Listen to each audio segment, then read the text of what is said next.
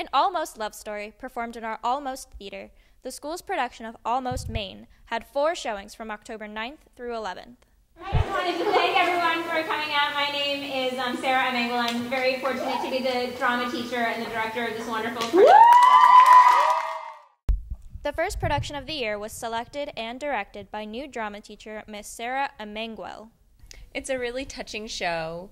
It's very sweet without ever being saccharine, but it's something that still appeals to young audiences and older audiences. Intended to be performed outside in the courtyard, the show had to be brought into the cafeteria due to weather constraints. Challenge is mainly, I think, weather because we live in South Florida and it rains at the drop of a hat. You know, I was a little concerned at first, but by the time we got um, the cyc lights that we ended up using as uplighting against the periactoids that we painted last minute, it ended up looking rather beautiful. And I don't think that it worked to the show's detriment at all.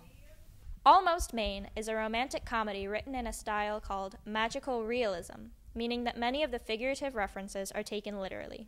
The magical reality, it's it's kind of a cool thing. It's just when they say something, you'd be you would think that can't really happen, but it's kind of just like a metaphor for the show. Uh, in my scene, I am giving back um, the love that Don gave to me, and it's literally like bags of love that I'm giving to him.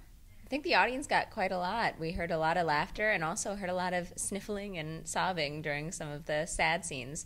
The show really does run the gamut as far as the emotions. From WJAG, this is Haley Harward Mason.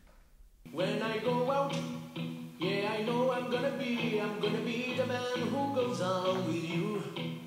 If I get drunk, yes, I know I'm gonna be, I'm gonna be the man who gets drunk next to you.